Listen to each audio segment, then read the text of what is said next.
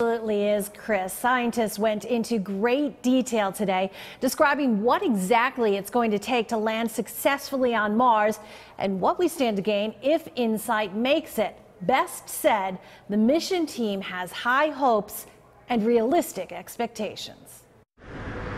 Liftoff of the Atlas V. Scientists know exactly where they want to end up. It's the getting there, and specifically the final moments of the trip, that has them holding their breath. In the last six and a half minutes, as the InSight lander plunges towards Mars, they say the 800 pound spacecraft will have to drop from 12,300 miles per hour to five in order to safely land. It'll take a lot of science, like a supersonic parachute, and then, frankly, a lot of luck as InSight free falls before the reverse thrusters kick in. Do We take the risk because it takes that risk to have that reward.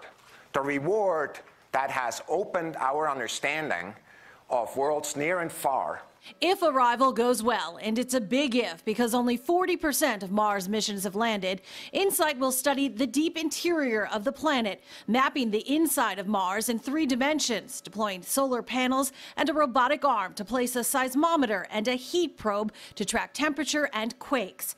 Scientists say the crust of Mars is a snapshot into what Earth's crust might have looked like four and a half billion years ago and could help explain planetary evolution.